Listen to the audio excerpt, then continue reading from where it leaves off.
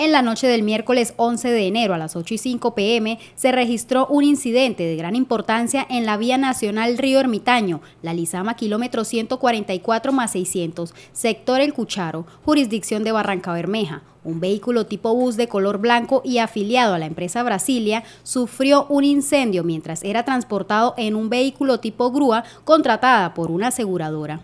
El incidente ocurrió mientras transitaba por el sector antes mencionado y dejó el automotor incinerado a un costado de la vía.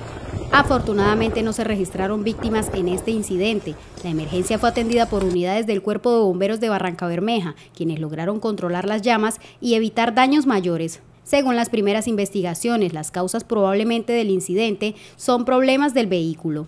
Este incidente es un recordatorio de la importancia de mantener una adecuada seguridad en los vehículos y estar preparados para manejar emergencias. Esperamos que las investigaciones determinen las causas precisas del incendio y que se tomen medidas para evitar incidentes similares en el futuro.